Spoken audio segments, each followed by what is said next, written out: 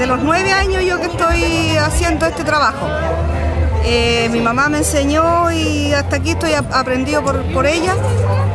Y hago todo el proceso de la lana, em, hago matizado, hago bufanda, gorrito, eh, bajas de cama, fresada proceso de la lana de oveja. Tengo una profesora que los manda las hierbas del sur de Temuco y con esa hierba nosotros eh, yo hago los matizados. Y también con hierbas naturales de mi casa, la hoja del durazno, la hoja de cebolla, eh, la hoja de olivo, eh, el eucalipto, el maitén. Todas esas hierbas me dan un, verde limón. La cebolla da un café oscuro.